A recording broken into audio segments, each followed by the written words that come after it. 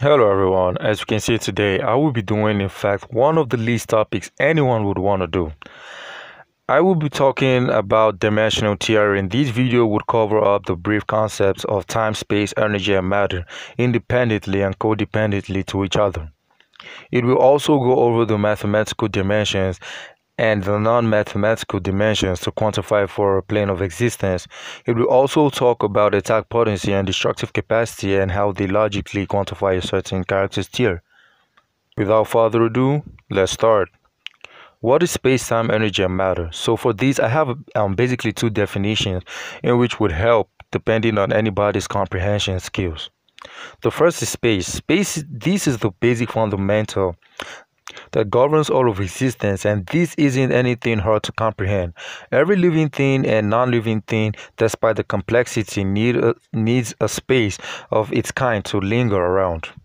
The second definition basically is that space, this is a void or this is an empty void across all things in existence within the physical world governed by laws of physics in relation with other with other laws interrelated with and to it this basically can be filled with nothingness or something.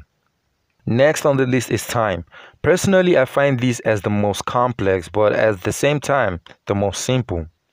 Time is the fundamental of events, basically, in which, unlike space, has no fixed set def dimensionality, because time flows across every form of space, already being so high that nothing really is above it, and you will understand as I go on.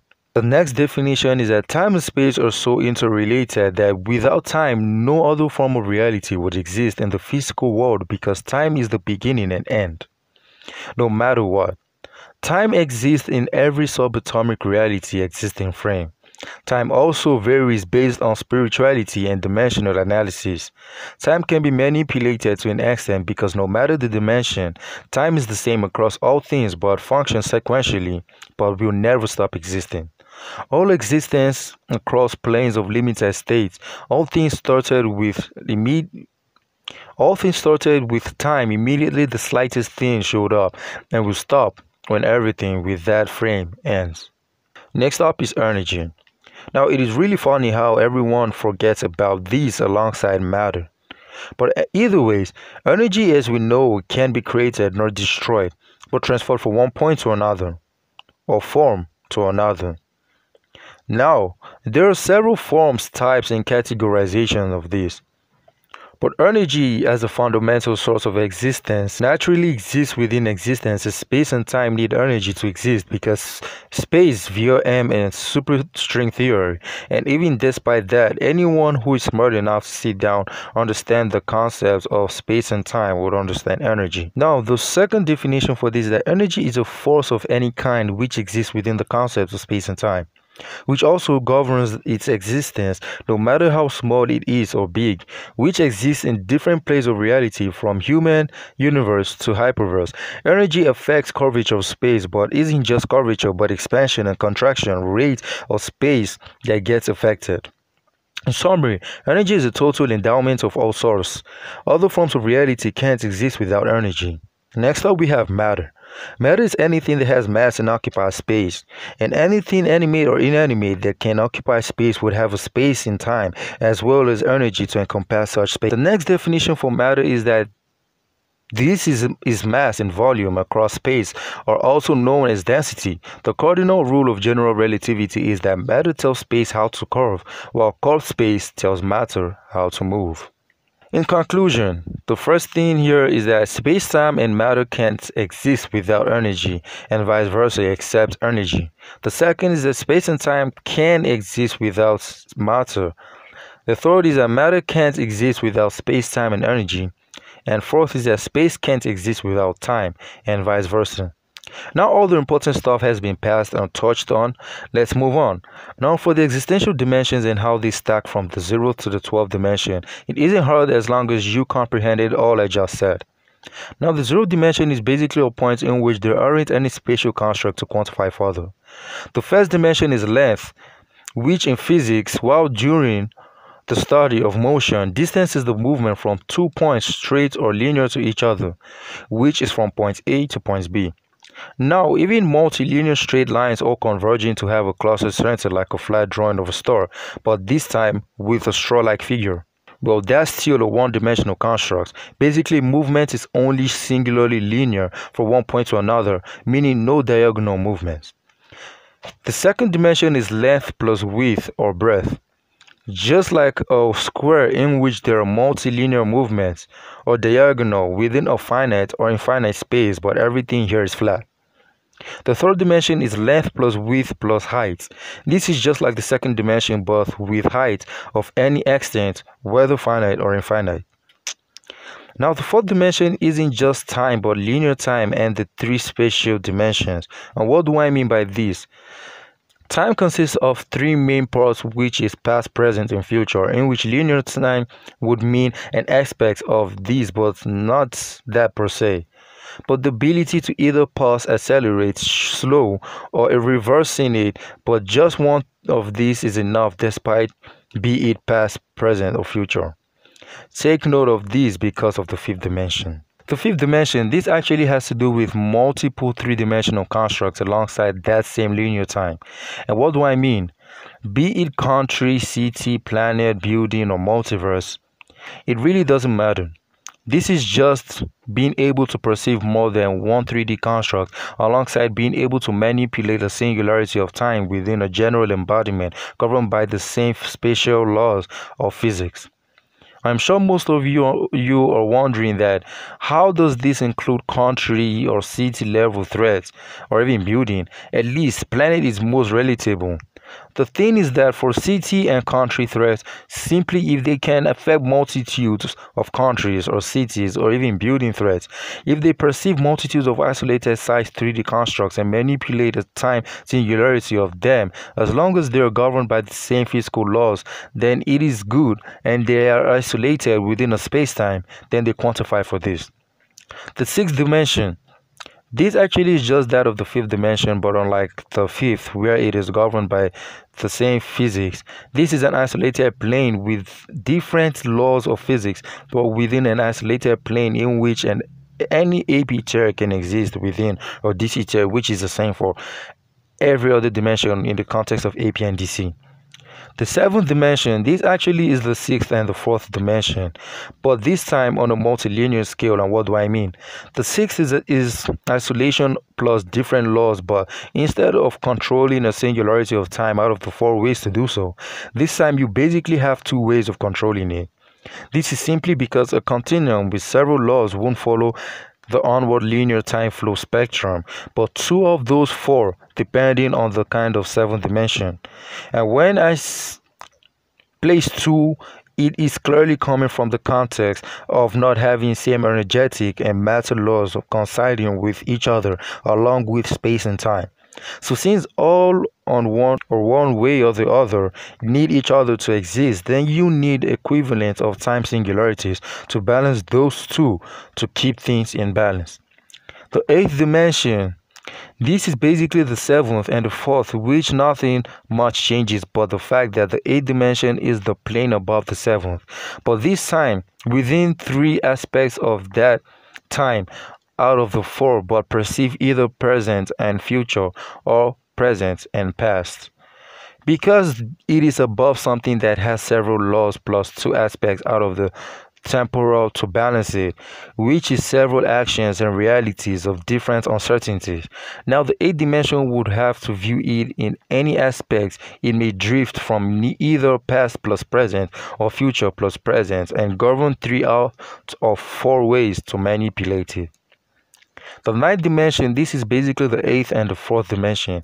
This is above something that can perceive past plus present or future plus present alongside controlling three aspects of time out of four.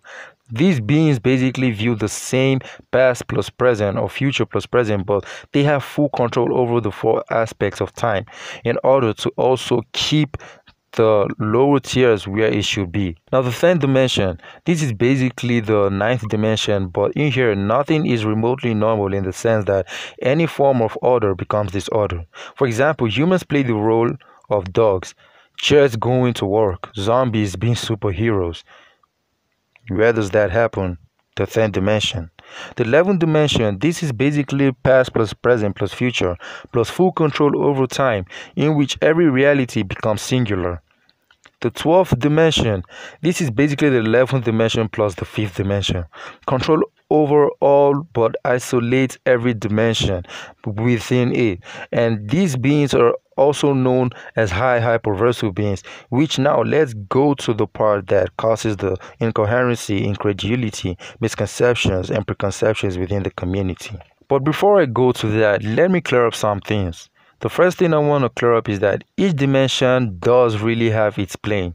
These are mainly powers of proof for sets existential quantifications. From the first dimension to the 12th dimensional beings can exist within the same universe, but will see each other differently.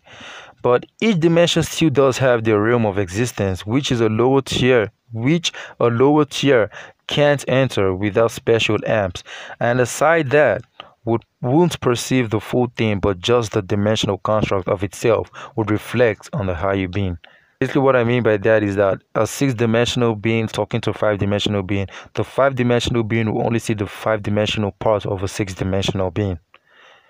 Now, the second thing is that for the case of 5D to, and 12D where isolation is stated, it just mostly occurs like that as 5D is referenced to anything parallel universe like, but this is only when they're outside the lower dimension or within theirs they can do such or even when in the same universe uh, as other tiers, they can just easily isolate a 4D being, a 3D being, 2D being, 1D being with a small 5D construct like an orbital bubble, like a physical being size the universe.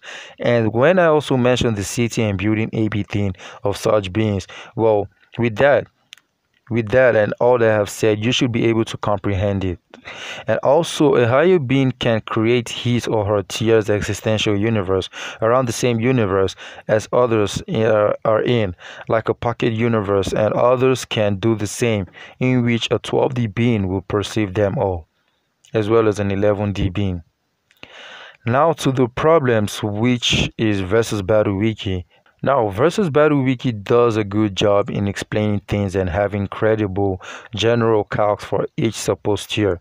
This existential tiering list is just pointing is just point now this existential tiering list I just pointed out and made is done by a lot of research and understanding which holds credibility inductively, abductively, and deductively, no matter the context, be it any form of fiction or even reality. This is the Versus Battle Wiki tiering system as you can see on the screen. They go from as little as below human strength to boundless. Now the problem is that they try setting tiers of AP and DC equivalents to tiers of existence, which is a false equivalence. And that's why from the Universal Plus section, personally via my interaction with 9,000 to thousands of members in the community, that's where people get confused.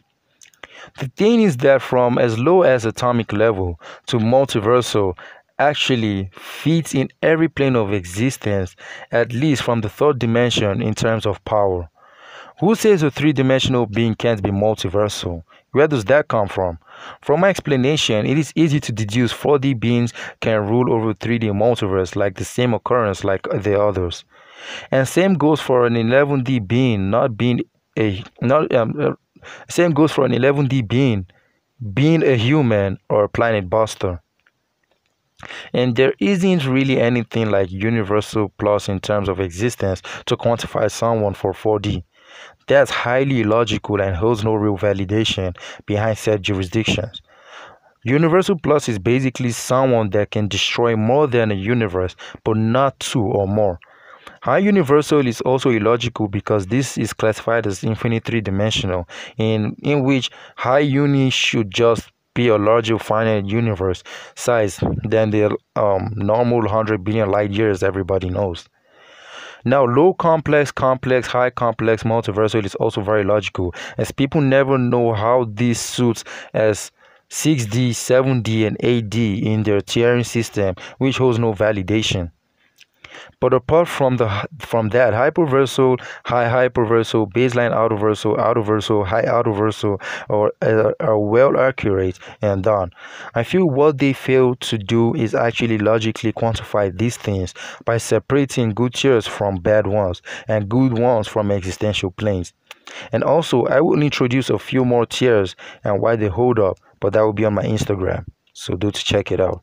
But before I go on, some people may be wondering, but what are the string and M theory dimensional mathematical tiers and high and high hyperversal tiers? String and M theory are basically descriptions of how space works in complexities of vibrating quantum particles smaller than atoms. Now, these theories help in the existential parts because it is basically space, just like 0 to 3D. And if anyone was observant enough, you would notice each tier is just a more complex three dimensional space with more time attributes broken down from an infinite singularity to different planes. So basically, mathematical 4D is two cubes, which is a tesseract. Well, just keep adding extra cubes to that tesseract to that of the 12th dimension. For example, the 5th dimension equals 4D plus 2 cubes, which is two 3D structures, or in other words, 4 cubes and onward, while the remaining dimension is time, which makes sense now to the existential claims, which hold solid credibility and validity as of now. I also want to let everyone on this tree that a lot really don't know. I hear infinite this and infinite that of the previous dimension, which isn't wrong, but no one knows how to even quantify them. I mean, they don't even know existential tiers of mathematical tiers as well as how they are independent and codependent. But infinite of every tier is just really infinite of every tier I gave existentially. But mathematically, there are actually 24 dimensions, or still the other way around, which is existential aspects is still 24 dimensions. How do you know this? Simply, you know 5 D mathematical is 4D plus 2 cubes of 3D, which is 5D or in short 4 cubes with one more complexity as time, which I explained. That time holds as the tier number in between depending on the manipulation set. Yes, basically zero dimension is, is zero dimension, but one dimension is points. Infinite 1D is infinite points. 2D equals line. Infinite 2D is infinite lines. 3D is square. Infinite 3D equals infinite squares. 4D equals cube. Infinite 4D equals infinite cubes. 5D equals 4D plus time. Infinite 5D equals infinite 4D plus finite time which occurs in singularities as you go up, like I explained earlier. So this is how actually the infinite parts of things work. So that's why there are either 24 dimensions or 12, and within the 12 there are infinite sets, and this is how the infinite sets actually work. I will stop here before it gets too complex. And finally, the best way to understand this is actually by reading a bit of quantum physics. Actually, reading Marvel in DC is actually very important because it actually helps a lot in my understanding and me seeking more knowledge on this because the writers are so knowledgeable and not normal that you can literally learn from there and also think for yourself as well to be able to understand this thing as well as interact with other people and talk about this. So get the remaining tiers, well, click the, click the links in description, join my Discord, follow my Instagram, Twitter, and my Facebook to get me to get to get me anywhere there. And please also like, share, and subscribe. I put a lot of work into this. Please share, like, and subscribe. Yes, I'm literally begging you. Share, share, share. And to be honest, I think this video needs to go viral to cure people from their ignorance and incredulity. Next video drops Wednesday. If you like MHA or in other words, My Hero Academia, play, please then look forward to it. See you next time. Peace.